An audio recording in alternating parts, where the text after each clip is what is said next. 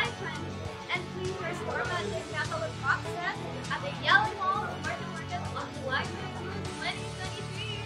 Kira Kira!